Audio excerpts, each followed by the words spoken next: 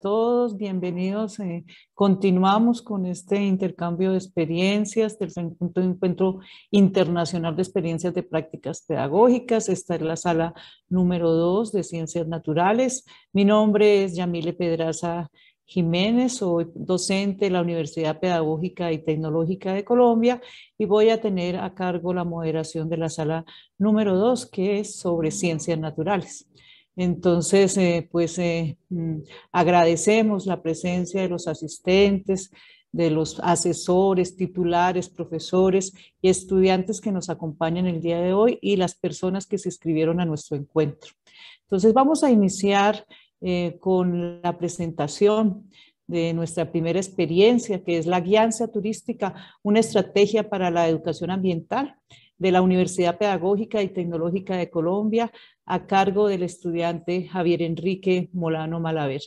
Bienvenido Javier y vamos a presentar tu experiencia. Gracias.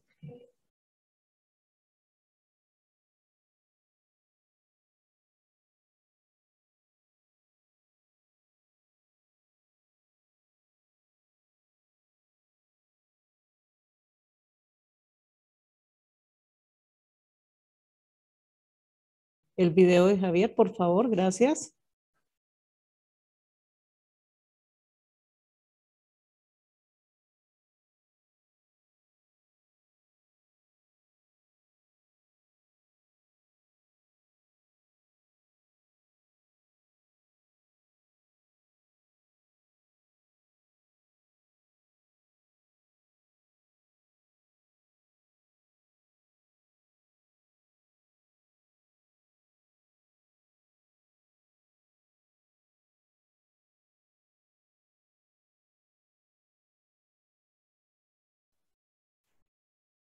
Bueno, por algún problema técnico, vamos a esperar, les agradecemos su paciencia.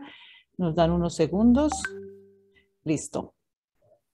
Buen día, mi nombre es Javier Enrique Molano, estudiante de la licenciatura en Ciencias Naturales y Educación Ambiental.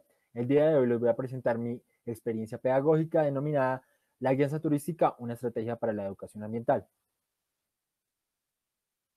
En el contexto de este proyecto se desarrolló en el marco de la práctica pedagógica investigativa y de profundización de la licenciatura en Ciencias Naturales, impartiendo clases a estudiantes de octavo semestre de dicha licenciatura de la Universidad Pedagógica y Tecnológica de Colombia, dictando la materia electiva disciplinar número 3 de guianza turística, materia que busca potenciar la formación de los futuros licenciados sobre el reconocimiento de la riqueza natural y de su entorno, así como la búsqueda de métodos para dar a conocer este patrimonio natural. Eh, esta materia se desarrolló bajo la asesoría del profesor titular Manuel Galvis y la asesoría de la profesora Yamile Pedraza. Situación que inspira la propuesta. Como lo menciona Torres, la educación y el turismo alternativo son una herramienta ideal para crear conciencia y aprender sobre el uso de la naturaleza en una forma sustentable, donde la guía educativa ambiental permite interpretar, examinar y exponer características de un área y sus relaciones en diversos ámbitos, así como busca generar interés y participación del público para desarrollar e integrar a la comunidad en tareas de conservación. De igual manera, como lo menciona Peregrini, eh, el mundo atraviesa una crisis, una crisis climática debido pues, a diferentes problemáticas que lo, atañen, eh, tales como la contaminación, el agotamiento de los recursos naturales y la pérdida de biodiversidad.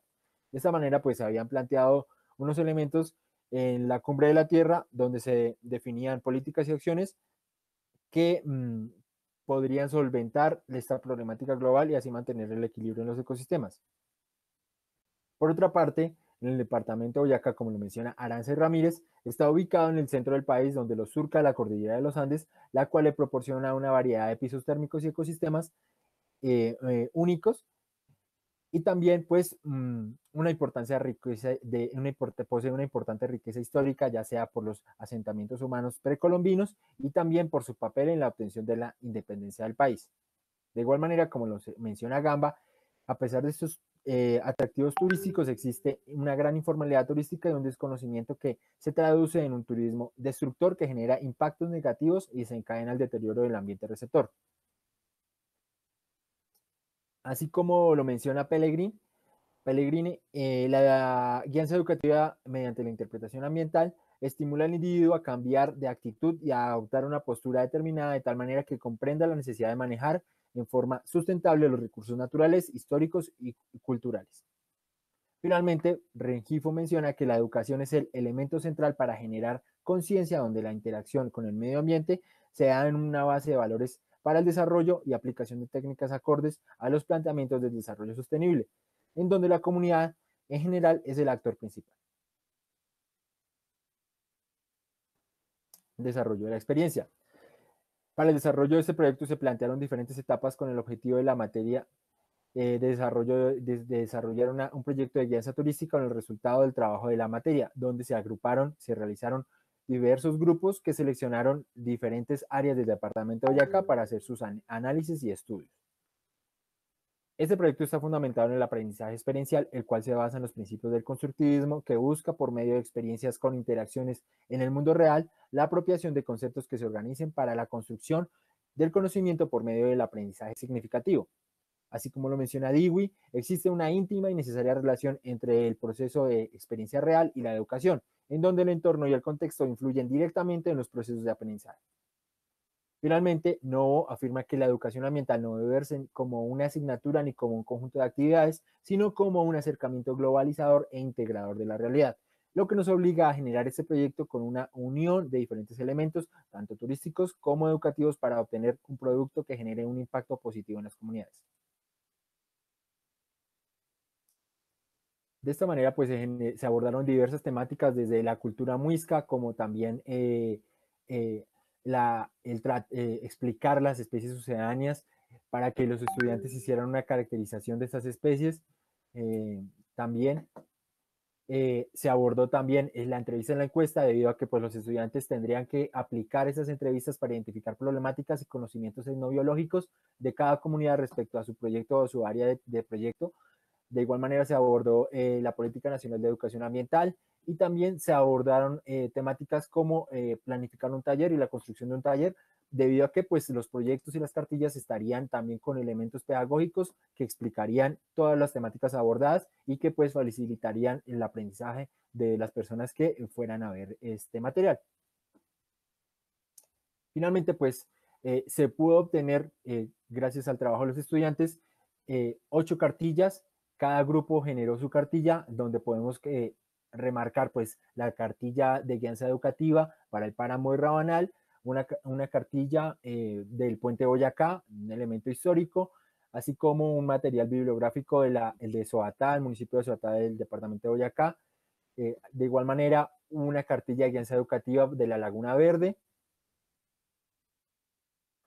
de igual manera, el Sendero Ecológico del Bosque de Miraflores, Boyacá, así como una cartilla de guianza educativa en la Reserva Natural Protectora del Malmo, un análisis de guianza educativa en el Jardín Botánico José Joaquín Camacho y Lago de la ciudad de Tunja y una cartilla de guianza educativa de la Serranía del Peligro. De esta manera, pues los estudiantes hicieron, debido a la, temática abordada durante las sesiones, unas caracterizaciones, en este caso de especies eh, que mm, pues eran las especies más representativas de cada lugar donde se observó diferentes especies, tanto vegetales y animales, que dentro de la clasificación de especies oceáneas les permitieron eh, eh, generar este material para que las poblaciones y los turistas identifiquen la importancia de dichas áreas, así como las principales amenazas que se están generando y que están generando la presión sobre dichas poblaciones de, de especies y dichos ecosistemas. Aquí podemos observar otros elementos que fueron abordados y desarrollados en las diversas cartillas, eh, donde podemos eh, remarcar el zafiro, la rana verde, el calzadito cobrizo, y donde cada cartilla fue abordando sus elementos según el grupo que quiso eh, hacer un énfasis. De igual manera, pues se abordó un componente pedagógico en donde se reforzaban los aspectos de enseñanza dentro del documento y la cartilla que integran los participantes a realizar acciones y reflexiones para que se desarrollen dentro y, eh, del área a estudia, estudiada y pues fuera de ella. Para así pues eh, generar una realimentación por parte de los participantes eh, como dibujos,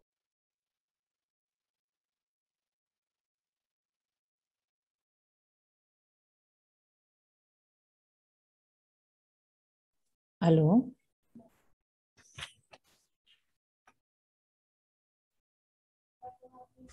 Tenemos problemas técnicos. Me confirman, por favor, por interno si ya solucionamos el problema técnico. No sé ustedes si alguien en el chat me puede confirmar si pudieron ver. Yo estaba viendo algo borroso la presentación.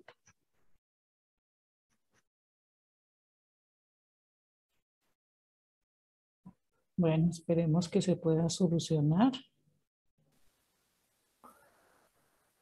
De esta manera, pues los estudiantes hicieron, debido a la, temática abordada durante las sesiones, unas caracterizaciones, en este caso de especies eh, que mm, pues eran las especies más representativas de cada lugar donde se observó diferentes especies, tanto vegetales y animales, que dentro de la clasificación de especies sucedáneas les permitieron eh, eh, generar este material para que las poblaciones y los turistas identifiquen la importancia de dichas áreas, así como las principales amenazas que se están generando y que están generando la presión sobre dichas poblaciones de, especies y dichos ecosistemas. Aquí podemos observar otros elementos que fueron abordados y desarrollados en las diversas cartillas, eh, donde podemos eh, remarcar el chafiro, la rana verde, el calzadito cobrizo, y donde cada cartilla fue abordando sus elementos según el grupo que quiso eh, hacer un énfasis. De igual manera, pues se abordó un componente pedagógico en donde se reforzaban los aspectos de enseñanza dentro del documento y la cartilla que integran a los participantes a realizar acciones y reflexiones para que se desarrollen dentro eh, del área estudiada y pues fuera de ella. Para así pues eh, generar una realimentación por parte de los participantes eh, como dibujos, actividades lúdicas, resolver preguntas y acertijos que refuerzan estos temas abordados. De igual manera, estos talleres que elevaron los estudiantes fueron base para construir un taller que se aplicó en la Semana del Planeta del 16 al 24 de abril del 2021 en la institución educativa INEM de la ciudad de Tunja en grados de sexto a octavo, en la cual pues se abordó por parte del autor y se hizo esta explicación de elementos del páramo como la fauna, la flora y también mm, el ciclo del agua, huella hídrica y demás. Aquí podemos observar los resultados que generaron los niños a la hora de pues eh, pasarles unos formatos donde ellos eh, eh, planteaban y marcaban los elementos que más les llamaron la atención y pues la fauna y la flora que, de la cual se fue abordada. De igual manera también se hizo pues una, una, una elección de las especies y las partes de los frailejones y también pues una, una medición de la huella hídrica a medida de que ellos desarrollaban sus actividades diarias. Finalmente, pues quiero agradecer a la profesora Yamile Pedraza, al profesor Manuel Galvis, a los estudiantes de la, licenciatura en la electiva disciplinar número 3 de guianza educativa, que fueron los que eh, generaron y trabajaron este, en, este, en estos proyectos, a los estudiantes de la institución educativa INEM y a la Escuela de Ciencias Naturales. Muchas gracias, eh, Javier, por tu presentación. Eh, muy interesante la propuesta. Vamos a dar paso ahora al trabajo Importancia del proyecto de las ciencias en el proceso de indagación científica de la Universidad Católica de San Pablo a cargo de las estudiantes Rafaela Alejandra Corrales Banda, Anie Carol Bonk Málaga, Camila Daniela Juárez Valdivia y Cristina Bustamante Cachi. Para esta presentación, eh, la eh, persona que estará a cargo será Rafaela Alejandra Correales Banda. Bienvenida, Rafaela, con tu experiencia.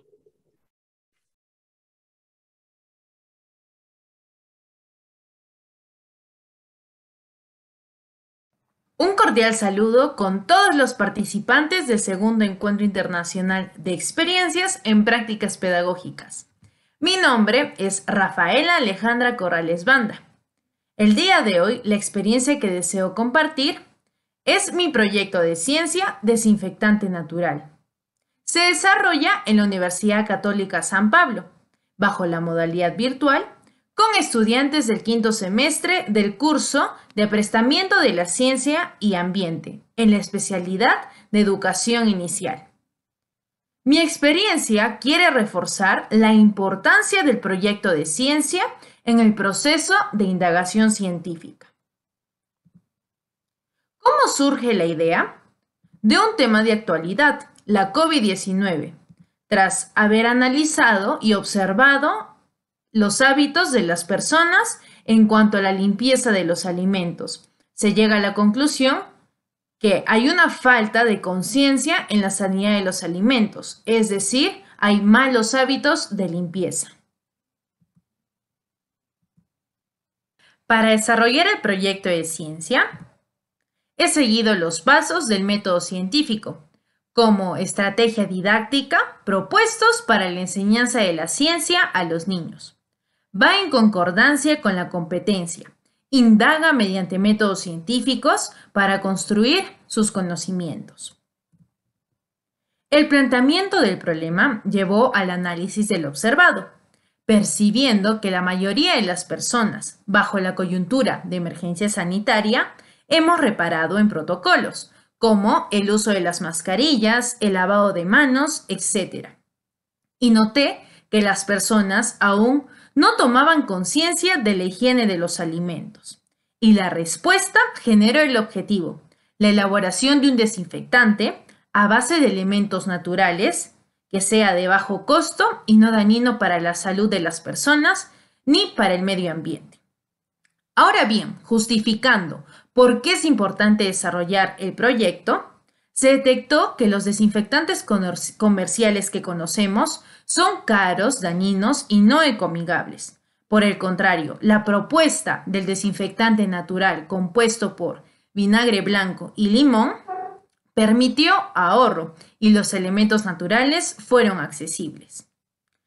La revisión teórica permitió conocer que la combinación de vinagre y limón contiene ácidos naturales que le proporcionan propiedades antibacterianas. Es recomendable para lavar frutas y verduras gracias a su efecto desinfectante.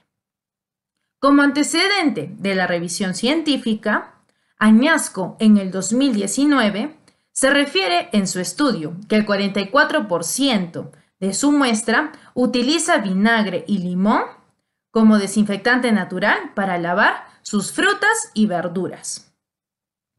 Luego, el planteamiento de la hipótesis, tenemos, ¿se podrá conseguir un desinfectante natural, el cual sea de bajo costo y ecoamigable con el medio ambiente? En el procedimiento tenemos los materiales como el vinagre y limón, el agua y un atomizador para así poder guardar la solución. Se calculó los costos de un desinfectante comercial y del desinfectante natural propuesto. El costo de un desinfectante comercial por un litro va alrededor de 30 soles y el costo del desinfectante natural propuesto por 3 litros costaría aproximadamente 13 soles. Comparando, se hay una diferencia muy notable. Ahora vamos a pasar al paso de la experimentación o procedimiento. Ya mostré los materiales anteriormente. Necesitamos 3 quintos de un litro de agua, un quinto de un litro de vinagre y un quinto de zumo de limones. Aquí en este recipiente tenemos frutas y verduras. Tenemos un tomate, una zanahoria y una manzana, los cuales serán desinfectados. Entonces vamos a comenzar a echar las medidas que necesitamos. Uno, dos y tres. Zumo de limón y el vinagre. Luego de haber realizado esto, vamos a dejar reposando las frutas y verduras durante 10 minutos. Después de haber dejado reposar las frutas y verduras en la solución durante 10 minutos, pasamos a secarlas y están listas para ser consumidas. Otra opción es guardar la solución en un atomizador. Como conclusiones del proyecto de ciencia, se comprueba la hipótesis la cual se conecta con el segundo punto. La elaboración del producto debe ser con elementos naturales, que cumpla con los requisitos de bajo costo y también que no sea dañino ni para la salud de las personas ni para el medio ambiente. Para ello se necesitan equipos más especializados que confirmen la eficacia del producto. Se logró la concientización de las personas en cuanto a los hábitos de limpieza. Asimismo, para consolidar la capacidad diseña estrategias para hacer indagación desde la observación, se gestionó la estrategia didáctica de preguntas para lograr una participación más activa. Por ejemplo, ¿qué has observado? ¿Cuál es el problema? ¿Por qué es importante el problema? ¿Qué pasaría al combinar el vinagre blanco con el limón? ¿Qué puedes observar ahora? Y para medir el desempeño, participa en la construcción de conclusiones, se cuestionó. ¿Qué has aprendido? Finalmente, aprendí que la observación, tanto de la realidad como del contexto, es sumamente importante porque es la base que generará el proceso del método científico. De esta forma, la participación se da como sujeto-actor en la búsqueda de solución del problema detectado. Asimismo, el proyecto de ciencias permitió el desarrollo y la combinación de habilidades como discernir, analizar, contrastar, experimentar, manipular, ordenar, comprender, observar, entre otras, las cuales se encuentran integradas en la taxonomía de Bloom. De acuerdo al enfoque del Ministerio de Educación, comprobamos que la didáctica se da globalizando las áreas curriculares, ciencia y tecnología, matemática, psicomotricidad, personal social y comunicación.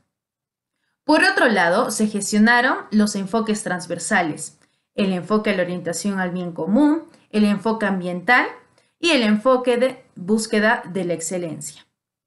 Finalmente, el último punto es un tanto personal, puesto que considero que esta experiencia me permitió desarrollar habilidades científicas y me motivó también para que con los futuros niños con los cuales yo pueda trabajar, pueda orientarlos y guiarlos en sus proyectos de ciencia, porque estoy convencida que la indagación científica se debe generar desde la primera infancia y desarrollarse a lo largo de la vida de los alumnos.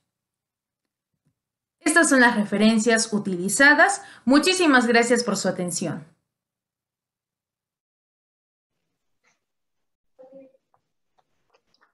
Bueno, le damos gracias a Rafael Alejandra Corrales Banda, quien nos presentó el trabajo La importancia del proyecto de las ciencias en el proceso de indagación científica de la Universidad San Pablo de eh, Perú.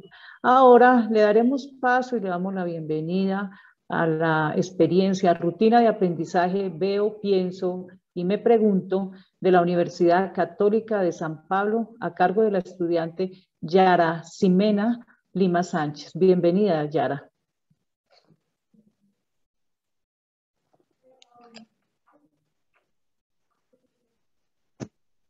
¿Cómo están todos? Quien les habla Yara Simena Lima Sánchez es estudiante del quinto semestre de la carrera de Educación Primaria de la Universidad Católica San Pablo de Perú del curso de Didáctica de las Ciencias Naturales. Y hoy estoy aquí para presentarles una interesante forma de hacer que nuestros alumnos aprendan a pensar de verdad. Y bueno, ante ustedes, la rutina de aprendizaje de Yo Pienso y Me Pregunto y un nuevo modelo didáctico, la modelización. Vamos a empezar con la rutina de aprendizaje. Esta rutina, llamada Veo, Pienso, Me Pregunto, tiene tres fases, como su propio nombre lo dice. Eh, primero, en el Veo se, pide al alumno que observe. La observación es un punto clave para la aplicación de esta rutina. Por ejemplo, em, seleccionamos una imagen estratégica que nos ayude a establecer de forma adecuada y concreta lo que deseo enseñar.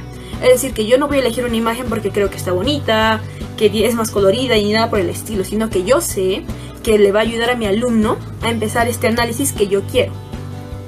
El siguiente paso es pensar, es decir, aquí ya interpretamos lo que estamos presentando.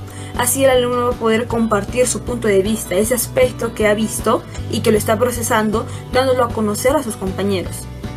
Y ya pasamos después a la última etapa, que es el me pregunto. En el me pregunto le abrimos los campos de exploración, de indagación y perspectiva a los estudiantes. Y es lo que se quiere en esta rutina, que el alumno no se quede con lo que está viendo simplemente, sino que genere esa curiosidad del alumno por querer saber más sobre el tema. Por lo expuesto anteriormente, debemos tener planeado obviamente el recurso que tenemos pensado para que nosotros podamos ayudar realmente al análisis del alumno en el momento de realizar la rutina. Es decir, que tenemos que seleccionar algo interesante y esto es clave para poder desarrollar el resto del aprendizaje. A continuación vamos a ver un ejemplo. Como ven en esta pizarra, aquí tengo las imágenes que yo supuestamente les presentaría a mis alumnos. Y ahí tenemos los tres espacios. Veo, pienso, me pregunto. Las tres fases. Vamos a ir uno por uno, sí lo vamos a resolver juntos. Tenemos el veo. Yo veo, ya saben, lo que veo literalmente ahí, ¿no? En este caso son pilas y baterías usadas. Listo, lo escribo. Luego tenemos el pienso. Yo ya procesando lo que he visto, yo pienso que las pilas y baterías son altamente contaminantes para el medio ambiente. También lo pongo. Y por último, él me pregunto, yo me pregunto, ¿qué componentes tienen las pilas y baterías para ser tan tóxicas y contaminantes?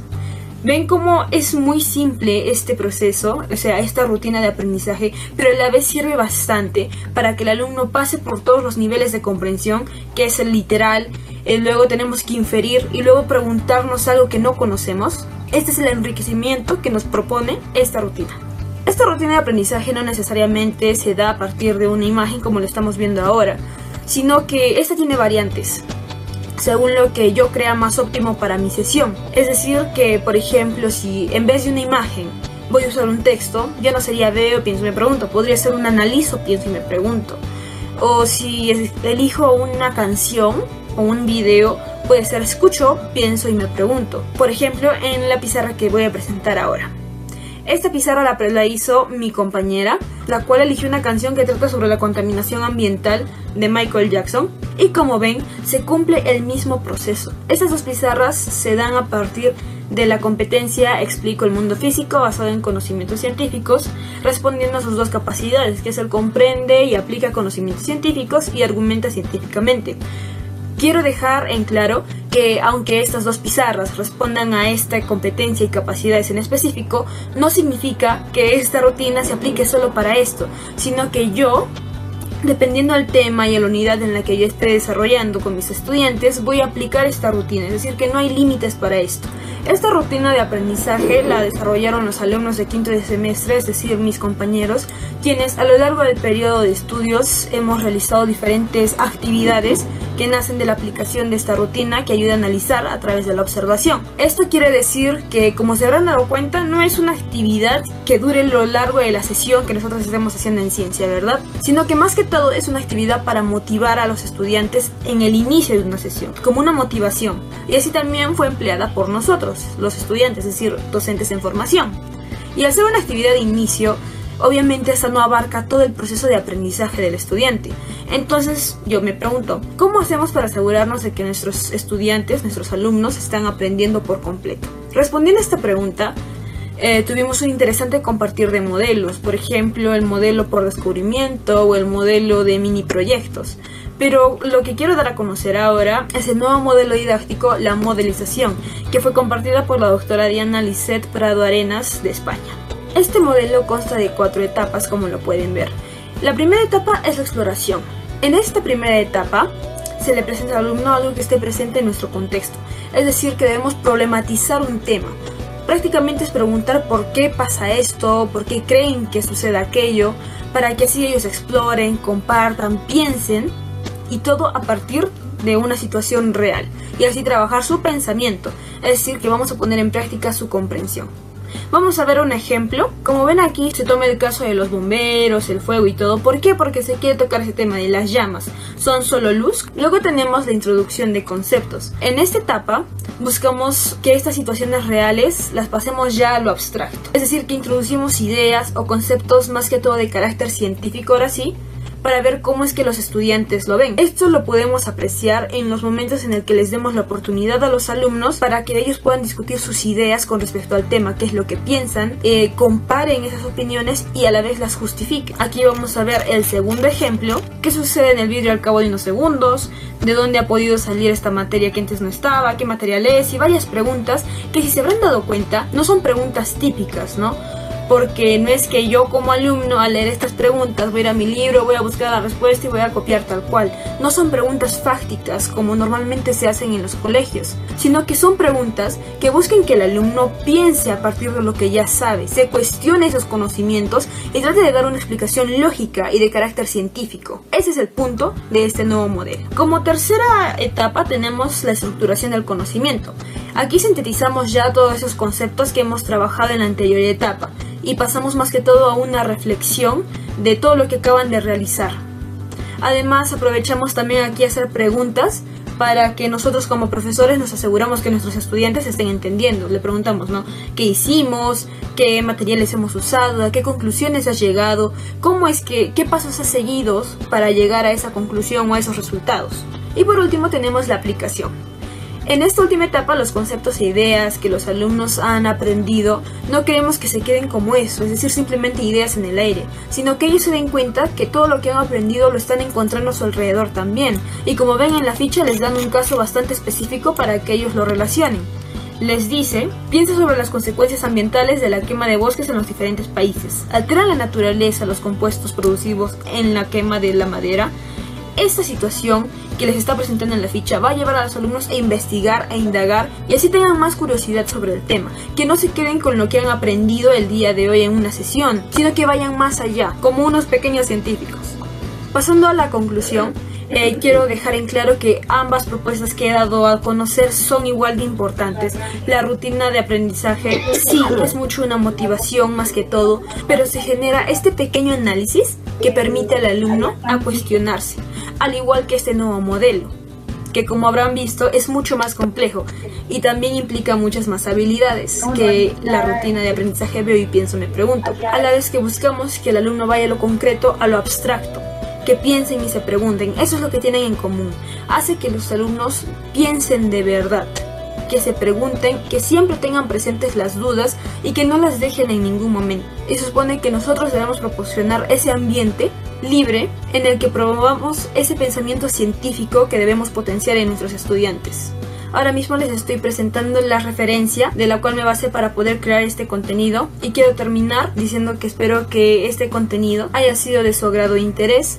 Además que este trabajo también fue realizado con el apoyo y colaboración de mi compañera Dara Ciel Agüero González. Muchas gracias.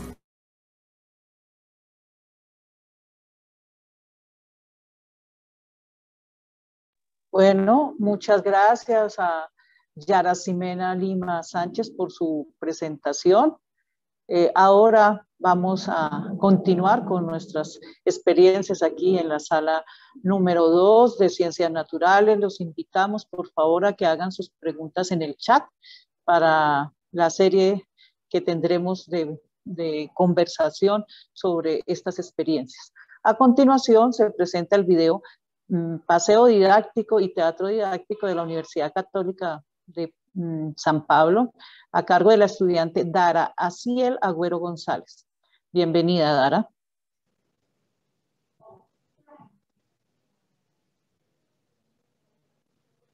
Buenos días. Quien les habla, Dara Ciel Agüero González, es estudiante de quinto semestre de la Universidad Católica San Pablo, del curso de Didáctica de las Ciencias Naturales, y hoy está aquí para presentarles una interesante forma de hacer que nuestros estudiantes aprendan a pensar. Ante ustedes, el paseo didáctico y el teatro didáctico, e iniciamos con las estrategias. Como docentes en formación, el desarrollo de estas estrategias nos ha ayudado mucho a explotar nuestra creatividad y cambiar nuestra mentalidad que las grandes actividades solo se pueden realizar presencialmente. Hemos trabajado todo el semestre con el objetivo de lograr que nuestros futuros estudiantes piensen y se cuestionen respecto a cómo funciona el mundo real de las ciencias naturales a través del cumplimiento y adquisición de las competencias, contenidos y actitudes que propone el currículo nacional dándonos muchas más ideas por el compartir de las mismas que hemos tenido progresivamente como promoción de educación primaria en didáctica de las ciencias naturales. Estos aspectos fueron los que nos inspiraron a desarrollar las propuestas. Estas estrategias fueron aplicadas entre nosotros como docentes en formación, siempre siguiendo una competencia, una capacidad y un desempeño, dependiendo del ciclo, como veremos más adelante y a pesar de estar en una modalidad virtual, nos hemos podido adaptar a ello y hacer de estas estrategias significativas para nuestros estudiantes de primaria. Empecemos por el paseo didáctico. ¿Qué entendemos por esta estrategia? Son espacios donde se aprecian diferentes elementos fuera del salón para formar experiencias directas, ya que el aprendizaje no solo se da dentro de cuatro paredes, conocido como el aula escolar, sino que se da a lo largo de la vida a través de las experiencias, las cuales muchas de ellas son proporcionadas por el paseo didáctico, donde sacamos a los estudiantes del ambiente habitual para que tengan un contacto directo con el mundo y así poder aprender de los elementos geológicos, problemas ambientales, flora, fauna, paisajes naturales, entre otros. En otras palabras, es trasladar el aprendizaje rutinario de las aulas al mundo real. ¿Qué importancia tiene el paseo didáctico en la educación? Claramente se generan aprendizajes significativos a motivarlos, para que relacionen los contenidos con la realidad en que viven a través de la observación directa. De igual manera, se considera al alumno como protagonista, ya que él mismo está despertando curiosidad por lo que ve, a partir de esta idea debemos planificar pertinentemente estas salidas, adecuadas al currículo nacional y para que se designen actividades en el que se harán uso de sus conocimientos, tanto previa en el uso de mapas, ubicación, como consecuentemente para desarrollar lo aprendido. ¿Qué aprendizajes se generan en los estudiantes? Gracias a esta estrategia se desarrollan grandes habilidades cuando aprenden los niños, como la motivación, se debe notar la capacidad de asimilar conceptos que han trabajado en el aula y otros nuevos fuera de la misma durante la salida. Además, que se presentan valores en todo momento, como la solidaridad, respeto y obediencia, y se desarrollan destrezas científicas, como la observación y el análisis del medio en el que se trasladan gracias a la cercanía con la realidad. De esta manera, también se logra una educación ambiental en cuanto a la conservación del medio natural. ¿Cómo se desarrolla esta estrategia en la virtualidad? ¿Se puede potenciar? Un colegio de Lima, la capital, quiso venir de visita al monasterio de Santa Catalina, aquí en Arequipa.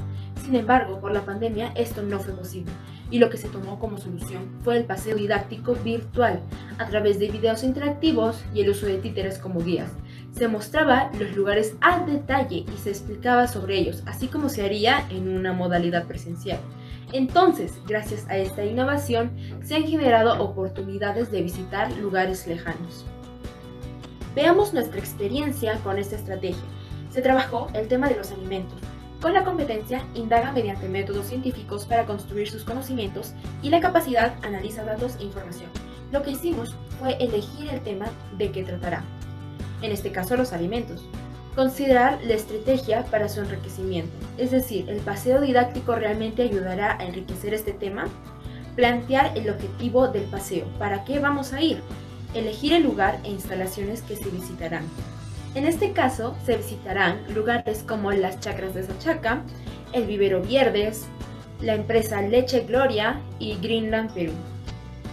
Después, planificar el horario y actividades que se realizarán en el lugar, siempre para tener un orden pedir la cuota e informar las medidas de seguridad a los... Y por último, la reflexión de lo que nos ayudó el paseo didáctico a entender el tema. Como siguiente estrategia tenemos el teatro didáctico. ¿Es esencial para el desarrollo de clase? Sí, por supuesto. Afirmamos que dentro del aprendizaje se encuentra la didáctica, es decir, cómo llevar los contenidos de una manera dinámica para que se desarrolle el conocer y el ser. Por lo tanto, esta estrategia es el desarrollo de un proceso cognitivo y afectivo a la vez. El teatro didáctico es la interpretación de dramatizaciones de situaciones científicas que se encuentran en la vida cotidiana. Así se desarrolla la alfabetización científica, que es la indagación y descubrimiento por responder los cuestionamientos que tenemos. Asimismo, se puede comprender la funcionalidad del mundo a través de un escenario para su aplicación en el mundo real. En la educación y enseñanza de las ciencias naturales, ¿qué papel importante cumple el teatro? Existe una diversidad en nuestros salones. Todos aprenden de manera diversa y el teatro logra cubrir los tres estilos de aprendizaje principales.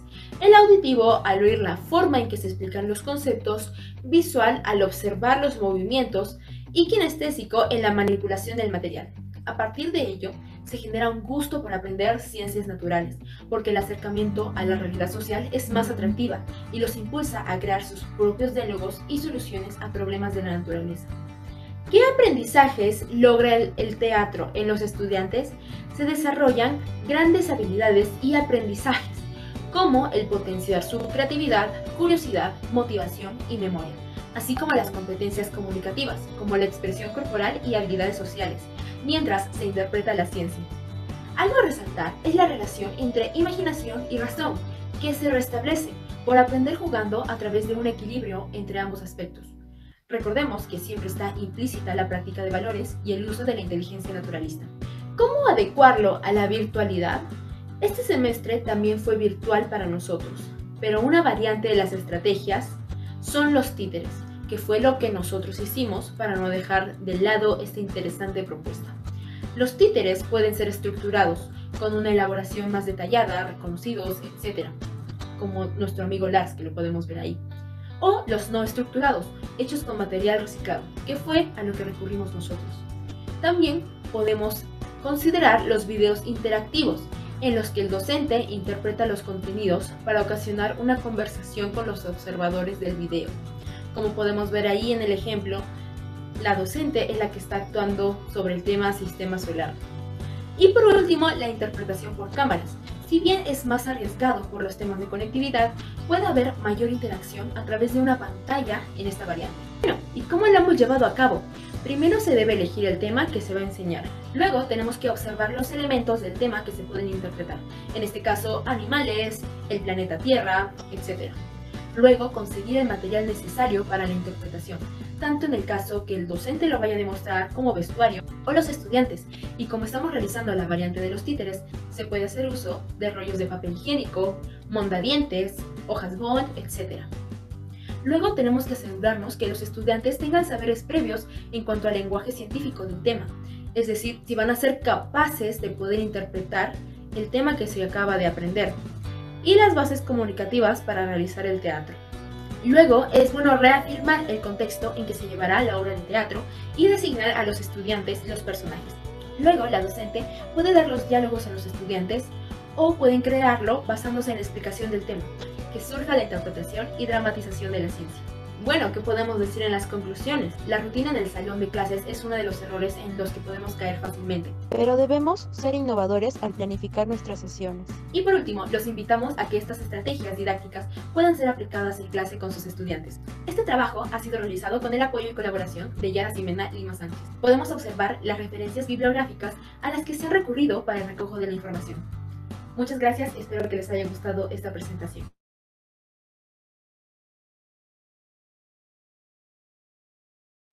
Damos las gracias a Dara Ciel por su presentación y a continuación vamos a presentar el último trabajo de nuestra jornada, eh, no sin antes indicarles que estamos prestos a sus preguntas en el chat de, esta sala.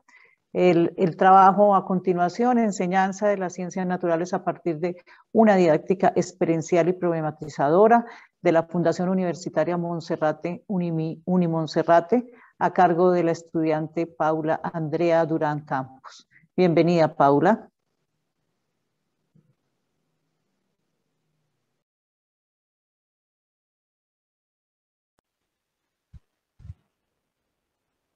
Muy buenos días para todos. Mi nombre es Paula Andrea Durán Campos. Soy licenciada en la educación básica primaria, egresada de la Universidad Fundación Universitaria Monserrate, Colombia, Bogotá. El día de hoy vengo a compartirles, a socializarles mi experiencia a partir de la práctica pedagógica que se llevó a cabo en el periodo 1 y 2 del año 2020. El día de hoy vengo a presentarles mm, la experiencia desde una didáctica experiencial y problematizadora enfocada en la enseñanza de las ciencias naturales con niños y niñas del grado tercero básica primaria. La práctica educativa se desarrolló en el Colegio Parroquial San Roque. Este colegio hace parte de la Arquidiócesis de Bogotá y está ubicado en la localidad de Los Mártires. Los encuentros con los niños y niñas en el semestre 1 se realizaron de forma presencial bajo pues una forma extracurricular los días sábados de 8 de la mañana a 11 y media y pues ya después de la pandemia, los encuentros con los niños fueron virtuales haciendo pues uso de herramientas como Meet y Zoom para poder pues hacer de toda la experiencia muy significativa, muy visual para ellos. ¿De dónde surge o qué es lo que inspira esta propuesta? de, em, pues de enfocar la práctica educativa desde una enseñanza de ciencias naturales. Entonces, uno, que pues la enseñanza y el aprendizaje de las ciencias naturales en básica primaria permiten o aperturan a que muchos aspectos problemáticos pues se puedan llevar y se puedan aterrizar en el campo educativo. Por otro lado, porque la enseñanza en las ciencias naturales permite o posibilita el desarrollo humano de nuestros estudiantes. ¿A partir de qué? De que se pueden, a partir de estas didácticas experienciales y problematizadoras, desarrollar habilidades de pensamiento científico. Por otro lado, pues teniendo en cuenta que los niños en estas, en estas edades ya tienen una aproximación a todos los temas, a muchos conceptos de ciencias naturales, realmente en el campo educativo las investigaciones son muy escasas y eso hace que esta propuesta que, se, que partió de una práctica educativa sea innovadora porque es significativa para los niños y las niñas y aparte para las investigaciones dentro del campo educativo. ¿Cómo se llevó a cabo, cómo se desarrolló esta experiencia? Lo primero pues fue determinar la metodología, la cual se basó desde la investigación-acción, pues teniendo en cuenta las interacciones y la participación de nuestros estudiantes y pues todo desde un enfoque cualitativo. Aparte, para poder desarrollar la experiencia, se estructuró un plan de trabajo que fue basado bajo la propuesta de Colmenares y Piñeros y los aportes de Kemis. Ellos nos proponen cuatro fases. La fase número uno, que es donde pues está el plan de acción, donde se plantea. La fase dos, que es donde se construye ese plan de acción a partir de la revisión.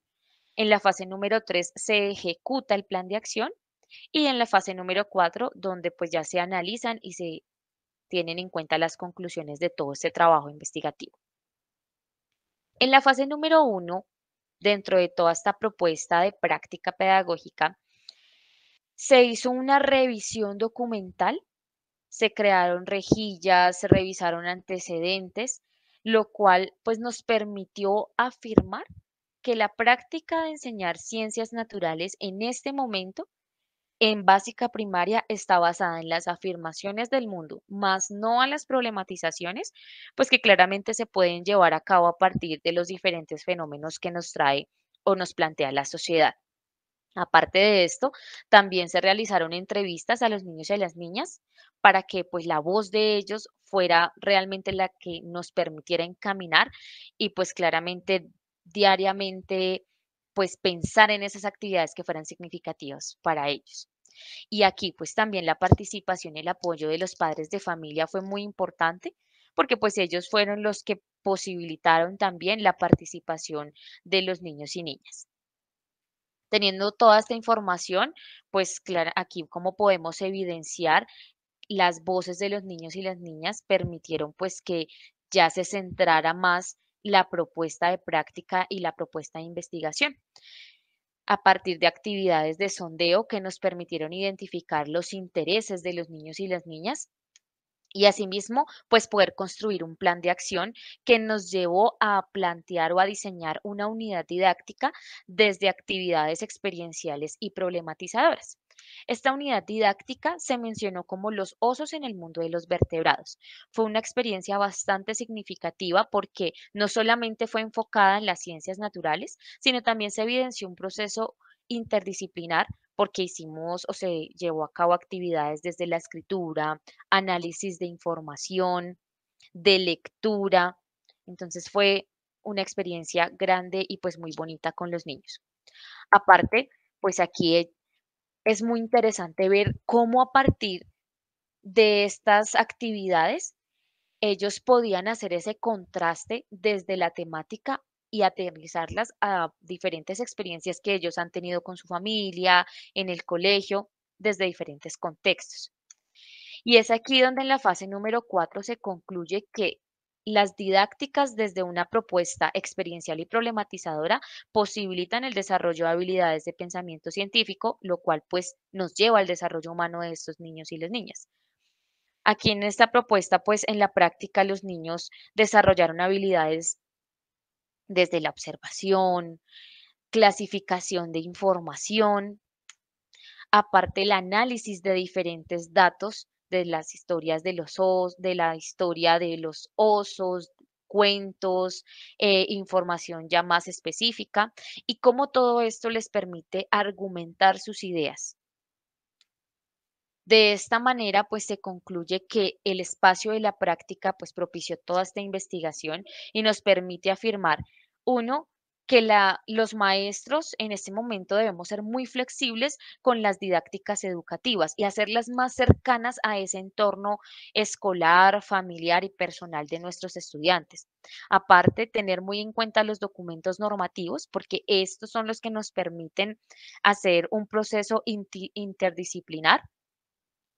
De esa manera, pues que las las didácticas experienciales y problematizadoras nos van a posibilitar que los niños y niñas desarrollen ciertas habilidades que les posibilite ese desarrollo humano.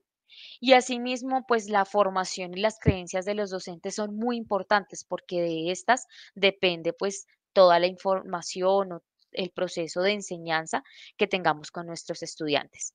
Muchísimas gracias. Espero que esta experiencia, esta investigación sea muy significativa y de agrado para ustedes. Que tengan muy buen día. Le damos las gracias a Paula por su presentación. Ahora pues llegó el momento de las preguntas y de socializar. Voy a invitar a nuestros ponentes a que enciendan su cámara, por favor. Eh, mientras tanto, yo podría analizar desde lo que, de lo que se ha dicho aquí, que mm, la presentación de las eh, propuestas pues tratan de marcar unas realidades eh, tanto de la enseñanza como eh, de la ciencia como tal, para llevar una ciencia escolar. Eh, y ese, esa, esa, propuesta que nos invita en nuestras prácticas y en nuestros trabajos de didáctica a esa enseñanza. Además, pues eh, veo dos vertientes, unos que trataron sobre prácticas en el aula como tal sobre el conocimiento científico y cómo transformarlo y cómo desarrollar habilidades científicas. Y otra vertiente que va sobre partir eh, de problemas de contexto, como eh, de territorio, ¿cierto? O como de las experiencias e intereses de, los eh, niños para poderlas llevar al aula. Se destaca que entre los objetivos que han tenido estas propuestas, pues está el desarrollo de habilidades científicas en primera instancia, desde la observación, desde eh, la propuesta, desde escribir, argumentar, proponer, ¿cierto? Son habilidades que argumentar y también apropiarse del territorio.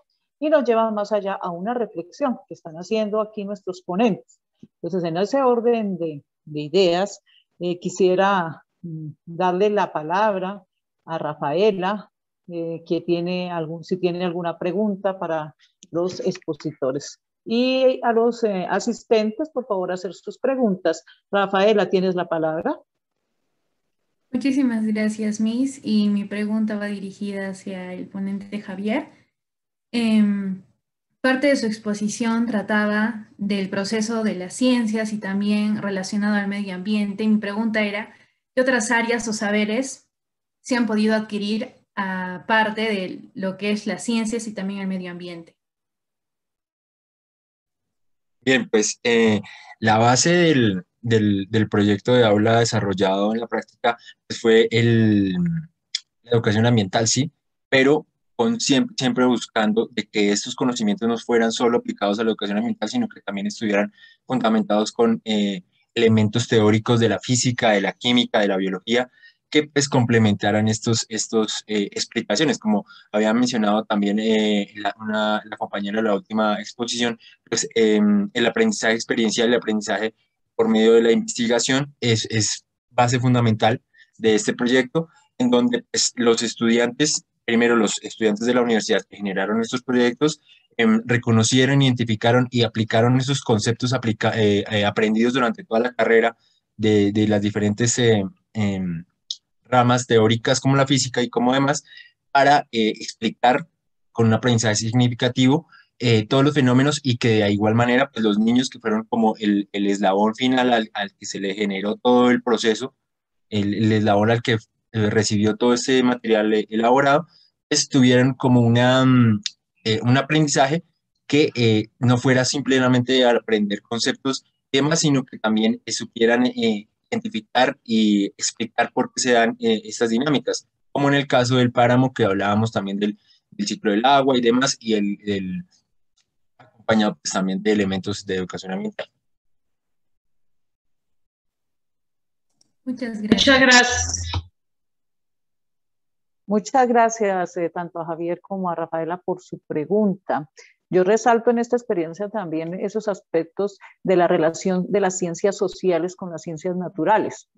El conocer estos contextos, estos lugares, estos recorridos que tuvieron que hacer, no solo permite eh, encontrar las eh, relaciones o lo que hay en ese ecosistema, como pero lo que más se analiza es la relación cultural de los seres humanos en ese ecosistema. Entonces, el, que el estudiante haga un recorrido histórico y que haga una, eh, una identificación de ese territorio le va a permitir encontrar esos eh, sentidos que se pueden plasmar a través de esas actividades que se llevarán en, eh, con los estudiantes. Entonces, pues gracias Javier por esa, eh, esa práctica y ese material que le has dejado a tu institución. Ahora pues eh, vamos a invitar a, Xiomara a hacer la pregunta, que si tienes alguna pregunta para alguno de tus eh, compañeros de, de sala.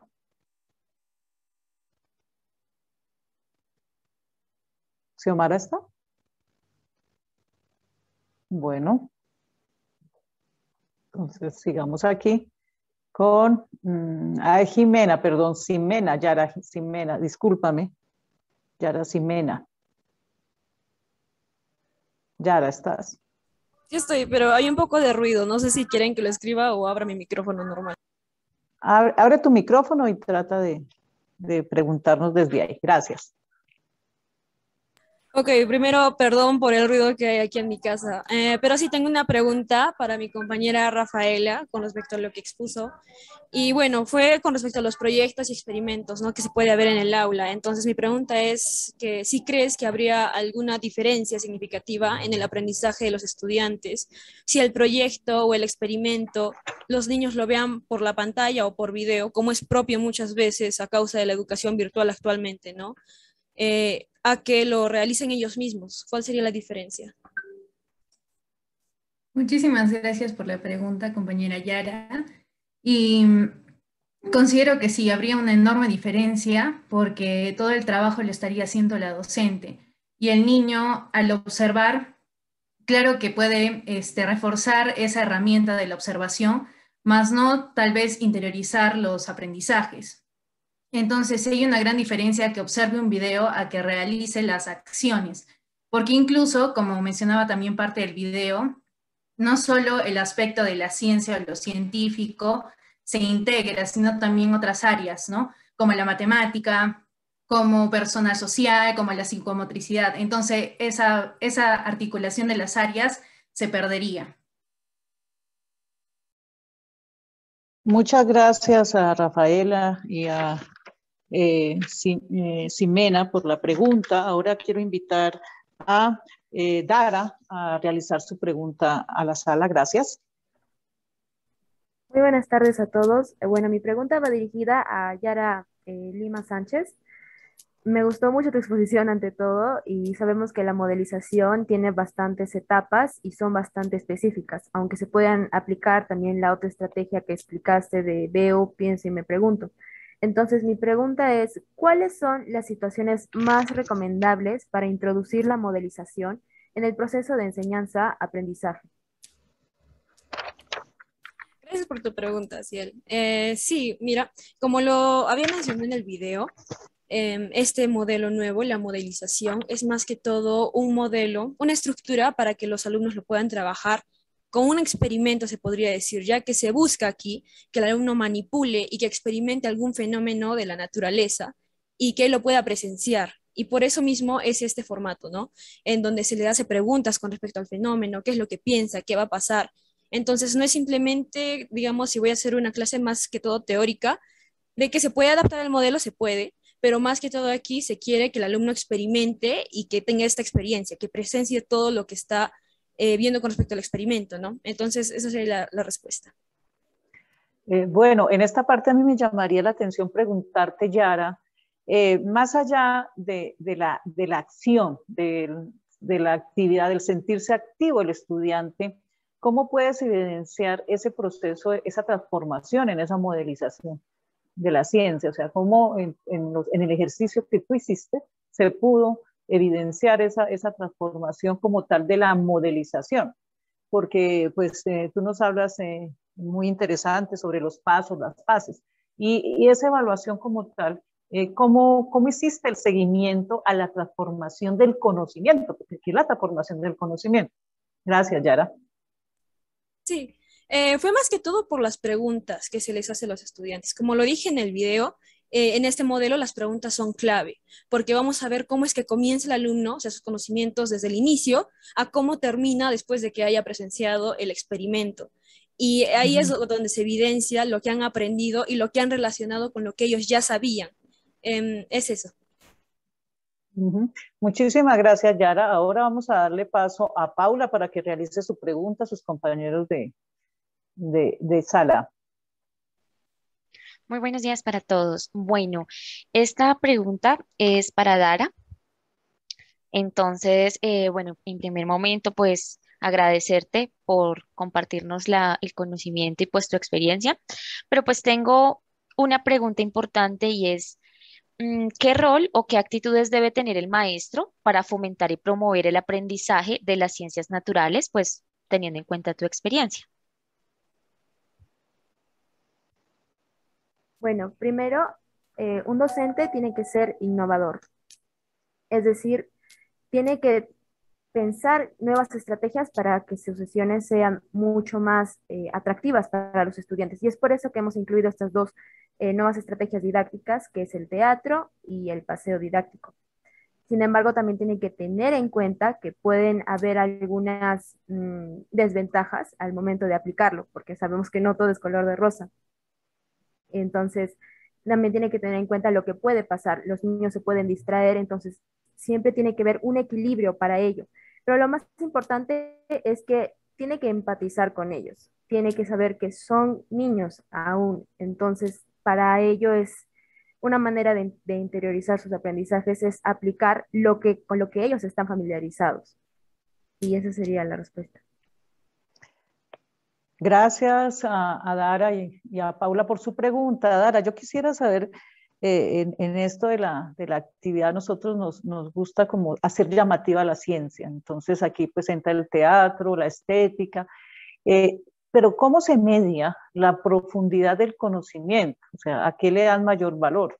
O ¿a qué le dan mayor valor? No, sino cómo más bien se media la profundidad para lograr esos, resultados, porque pues eh, eh, el niño se puede concentrar y estamos aprendiendo, por ejemplo, ciencia, pero se puede concentrar en la estética y se puede con, en, la puesta en escena y eh, cómo profundizar en el conocimiento científico. Sí, ahí también es algunos de los errores en los que podemos caer. Por eso siempre tiene que haber una, un equilibrio entre el que es todo lo estético, las artes, y también la razón, que es en lo que, en sí, por así decirlo, los contenidos en los que vamos a, los que tenemos que enseñar hacia los estudiantes. Eh, sin embargo, eso ya también se ve en la planificación de los docentes, qué es lo que quiere lograr y sobre todo también que cuando tú vas a aplicar una estrategia, no es que solo vas a aplicar eso, sino que también se complementa con otras actividades. Cuando tú vas a usar una estrategia es porque tienes un objetivo. Entonces, puedes realizar algunas actividades posteriores o anteriores para ahí demostrar ese conocimiento científico. Como por ejemplo, el reforzamiento hacia las preguntas, luego de ello, eh, preguntas de reflexión y entre otras maneras incluso de evaluar.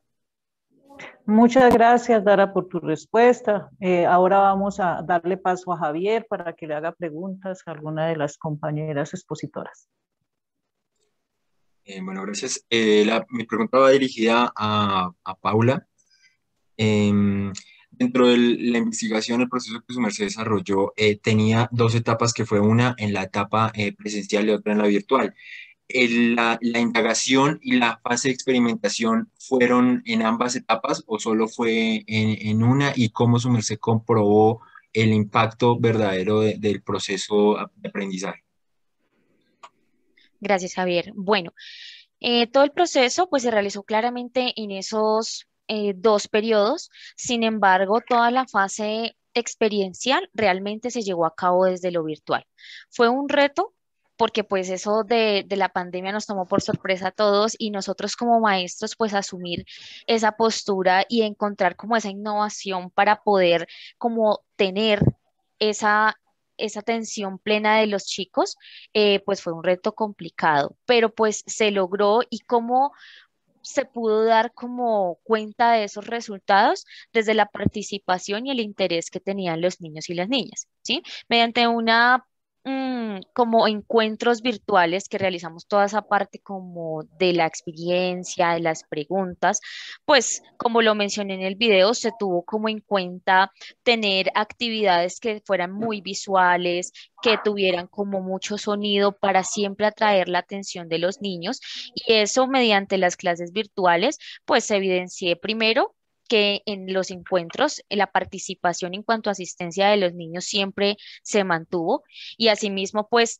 entrar y tener en cuenta el interés de ellos, porque por eso fue muy primordial en esa etapa de recolección de información, el interés, que en este caso eran los animales, especialmente los osos. Entonces, trabajar en torno del interés, de lo que a ellos les gusta, pues da claramente evidencia de participación y pues de evidenciar el proceso de desarrollo de habilidades, en este caso del pensamiento científico de los niños y las niñas.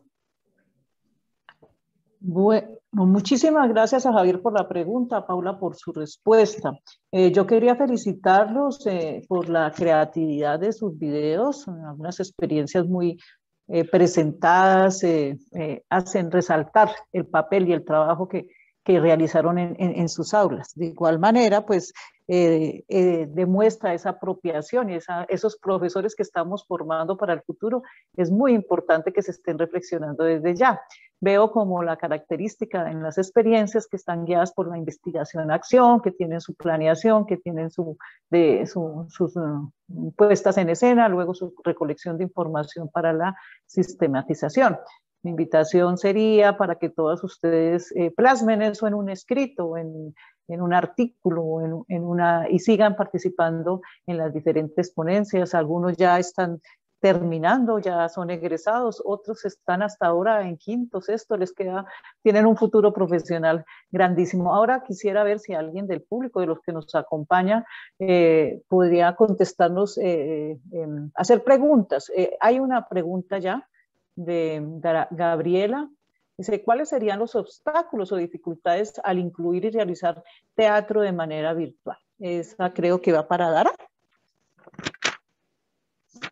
Sí, eh, muchas gracias por tu pregunta, Jocelyn. Bueno, eh, también lo mencionamos en el video y sería bueno reforzarlo. Eh, sabemos que esta situación no es nada fácil. Primero sería la conectividad, el problema de conectividad, pero aún, así, aún, así, con estos problemas se puede, se, puede llevar a cabo la, la estrategia, siempre teniendo las eh, las prevenciones necesarias. Otro que puede ser incluso, a veces no realizan el trabajo, entonces ahí tenemos que hacer de lo más interesante, lo más atractivo posible el teatro. Y por eso la variante más recomendable, sobre todo para el momento virtual e incluso para evitar los problemas de conectividad, son los títeres, que los niños ellos mismos realicen eh, sus propios títeres, ellos mismos le den la personalización necesaria y, que ellos mismos los interpreten relacionado con el tema que se está enseñando en el momento. Muchas gracias em, eh, por la por tu respuesta, Dara. ¿Alguien más tiene una pregunta? Yo veo a una de mis estudiantes por ahí, Mayli, te quiero invitar a que dejes, tenemos tiempo, estás en tu práctica final. ¿Qué pregunta quisieras hacerles a, las experiencias que, tenemos aquí dentro de los participantes que veo? Eh, invito a Mayli a que nos haga alguna pregunta, alguno de los ponentes. Mayli. Gracias, profe. Sí, está poniéndoles mucha, mucha atención, pues porque, como su merced lo menciona, yo también estoy ahí como iniciando en ese en ese reto. Y mi pregunta es, bueno, o sea, teniendo en cuenta que lograron en la mayoría de los casos, bueno, eh, como obtener los resultados, sí, o sea, tuvieron sus resultados positivos.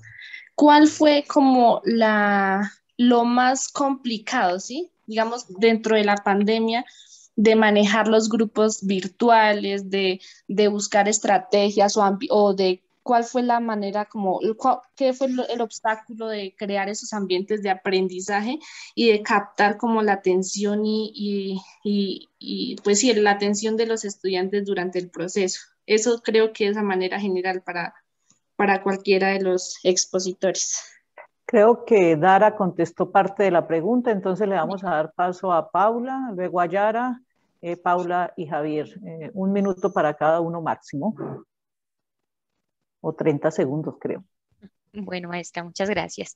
Bueno, eh, respondiendo a tu pregunta, como mencioné, pues es el tema de la virtualidad, creo que cuando inició todo fue un reto, tanto para los estudiantes como para nosotros como maestros, porque fue algo que veníamos acostumbrados a didácticas, a actividades muy diferentes y estar así, creo que como maestro es tener atención plena, ¿sí?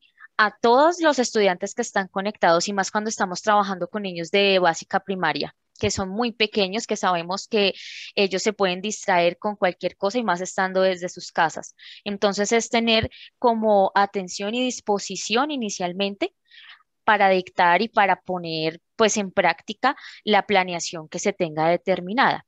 Ahora bien, considero que también es muy importante eh, tener y articular diferentes aspectos hacer como de todas esas planeaciones un proceso interdisciplinar, porque partiendo de esto es que podemos atraer esa, esa atención plena de los niños, ¿sí? Entonces, no hacer digamos que actividades enfocadas solamente bajo una modalidad, sino siempre articular imágenes, sonidos, eh, cosas muy llamativas que puedan atraer la atención y pues como te mencionaba y les mencionaba, estar muy pendiente a esas mini pantallitas y estar como haciéndoles el seguimiento constante. Creo que ese es como el reto y, y, lo que debemos tener en este momento en cuenta como maestros desde la virtualidad. Seguimiento constante a los niños y las niñas.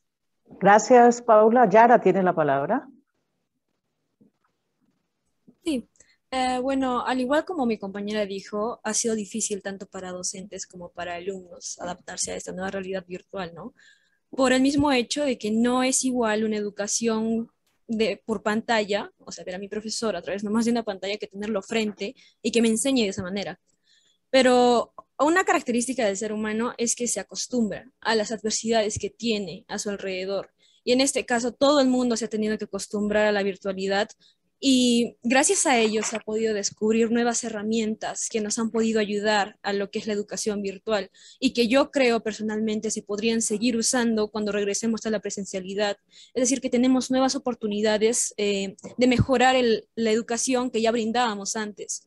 Y bueno, no más que ahora que seguimos en un ambiente virtual, como dijo también mi compañera, es muy importante la comunicación, el seguimiento que les hagamos a nuestros alumnos, porque de por sí en presencial el docente debía estar muy atento a conocer a cada uno de sus estudiantes de cómo van, cuáles son sus dudas, cómo yo le puedo ayudar y mucho más ahora tenemos que tener en cuenta estas cosas porque ya no los tenemos al frente nuestro, sino que están lejos, pero siempre debemos buscar la manera y el camino de llegar a ellos y así ayudarlos eh, a seguir su educación.